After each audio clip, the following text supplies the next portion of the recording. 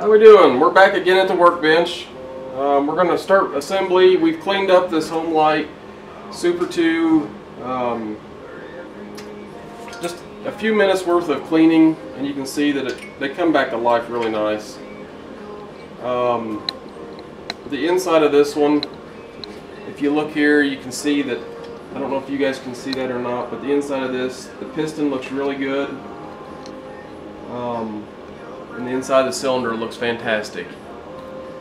So this is going to be a good runner. You can also tell by looking at our, our sprocket, there's just a little bit of wear on this sprocket. Um, if we look at this sprocket, I've got another sprocket here that you can see that it's, it's got a tremendous amount of wear to it. Um, it's this this saw doesn't have a lot of time on it. Um, most likely somebody's used it I mean, they, they built these saws in mid mid to late 70s. Um, and nobody's taking care of it. It was used and put away until it didn't run, and then now I have it. So with that being said, um, we're going to do a few things. We're going to put fuel lines in this fuel tank. We're going to get the fuel tank mounted up. Um, we're going to get the coil set. The, I've already cleaned the points. I cleaned the points off camera. Um, the bearings in this feel really good. Um, we'll get the carburetor on it, get our, our reed valve assembly back in it. Um, so let's get started. What I did, or what I like to do, is clean these tanks out. You can use mineral spirits.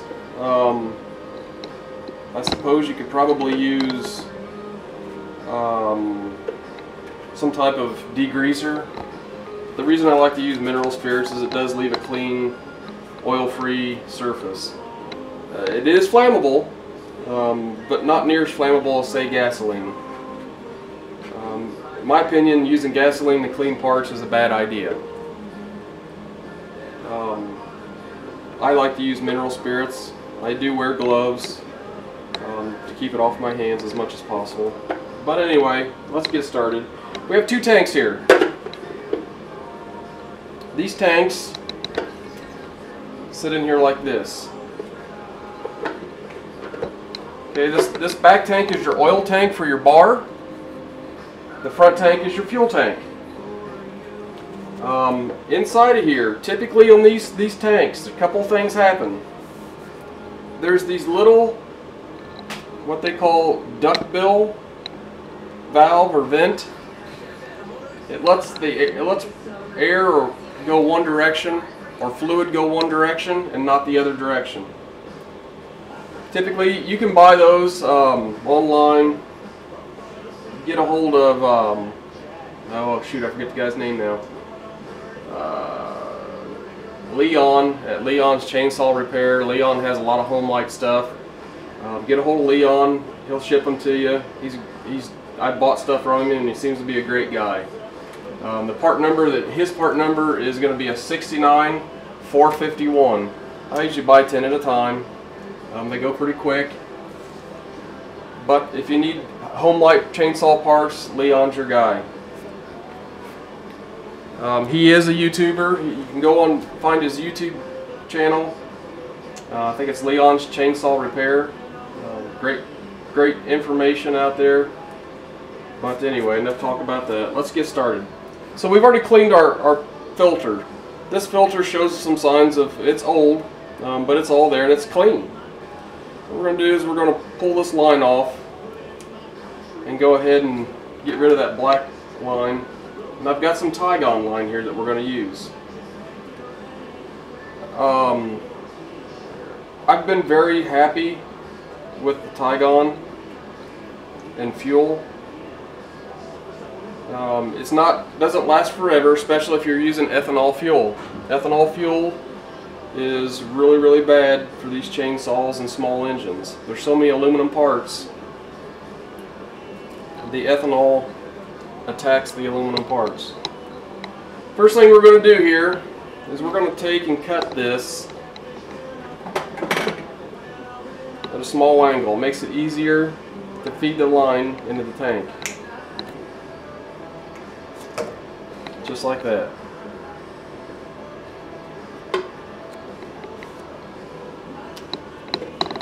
there's two holes in this tank.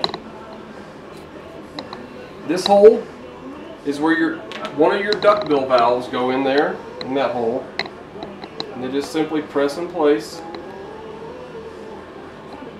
If you have one of these saws and you notice that it's leaking fuel, every time you move the saw, chances are this duckbill valve is bad.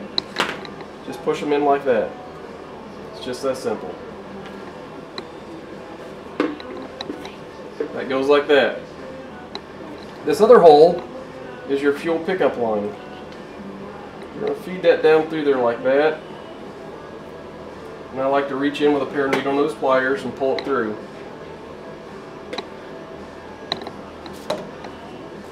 Then we'll clip this off where we made our little V.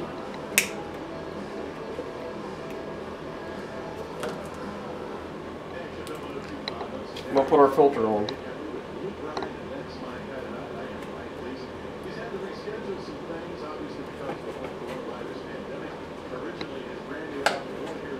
Now, you want this to touch the bottom of the tank, obviously. Make sure your fuel line's long enough to touch the bottom of the tank. You want it somewhere mid-tank.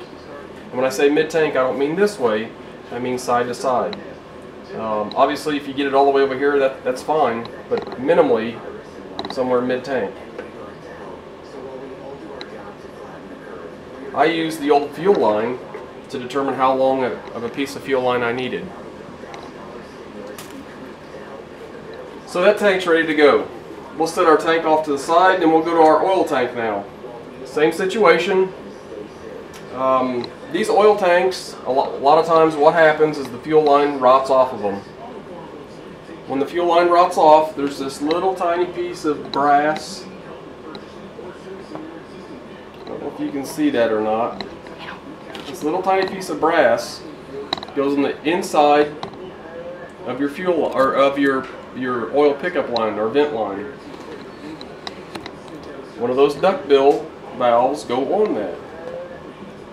And they just simply press them press in place again. What that does, it allows the crankcase pressure, because the oil system in this is, is pressure fed from the crankcase, it allows that to, to let pressure into the into the tank and not let the oil into the crankcase. So what we'll do, again, we're going to cut a 45 or a 60 or some an angle on this.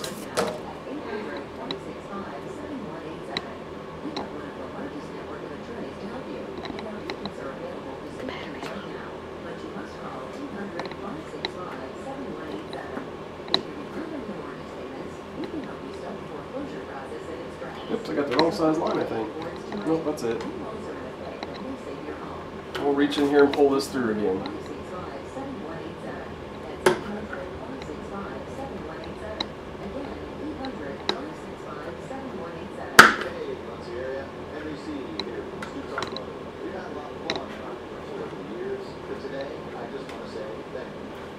Okay, that'll make a nice seal. We'll cut our angle off of here. Didn't quite get it all. There we go. And we'll put our barb on there. Sometimes when these come off, generally you'll find them in the bottom of the tank. And you can get those out most of the time, unless somebody's already done it and didn't put it back on. Most of the time they'll be in the bottom of the tank in thick, nasty oil. You can rinse your tank out, like I said, with mineral spirits or some type of solvent. And generally run it through some type of strainer to make sure you have it all out of there and you don't you don't lose your barb. I have had to use pieces of small pieces of copper pipe, brass tubing. I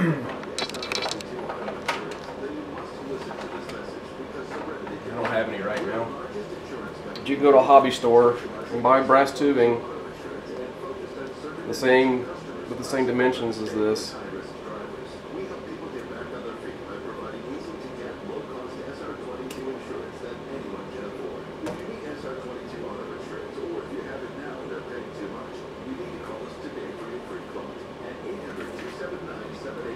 Then we'll simply just pull this back through so that it just sticks in like that.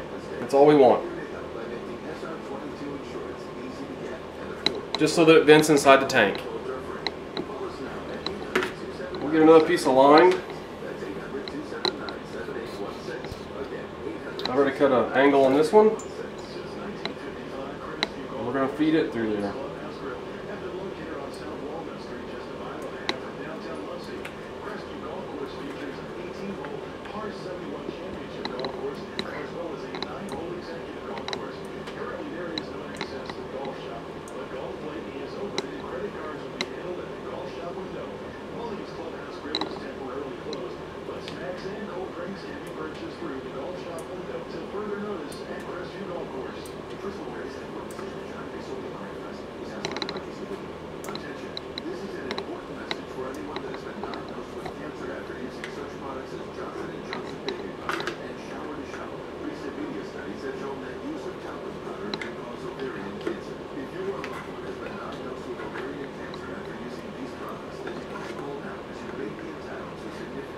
We're going to pull this through. This one's kind of a challenge. It's a little further down in the tank. But we'll pull this through here.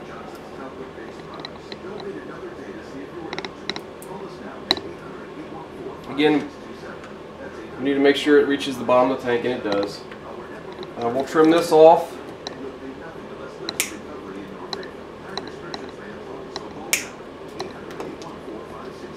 And I'll have to get a filter. I should have a filter over here in stock. Let me grab a filter real quick.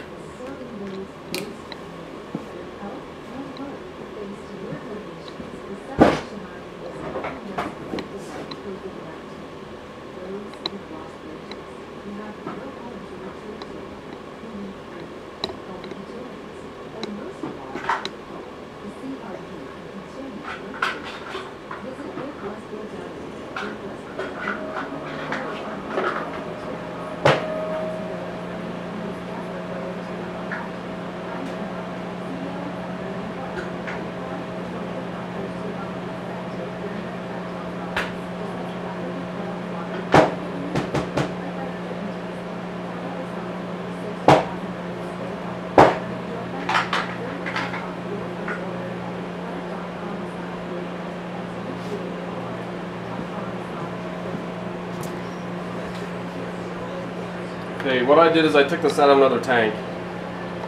Um, I didn't have a new one, but I did have another tank. And in the bottom of that tank, lo and behold, is the old piece of brass tubing with the duck bill on it.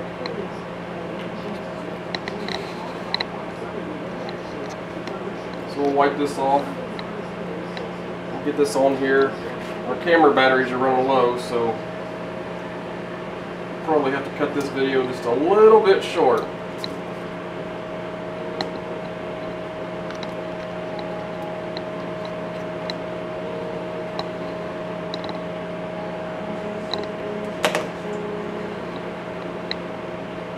Again, you want to make sure that your filter or your pickup is all the way in the bottom of the tank. In this case, you're going to want it over in here. It's kind of a bear to get in there, can't get it in there.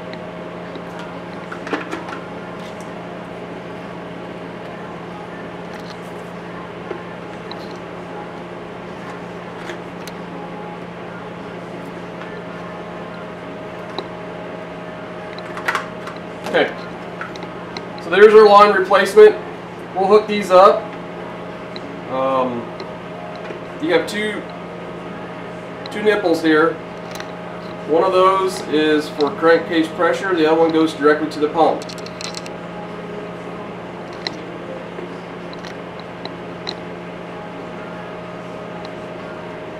I believe, I'll have to look, but I'm fairly certain they go like this, where your pickup line is here, and the pressure is here, but I'll have to double check that, and we'll, we'll confirm that in the next video. Thanks for watching. Look for our next video.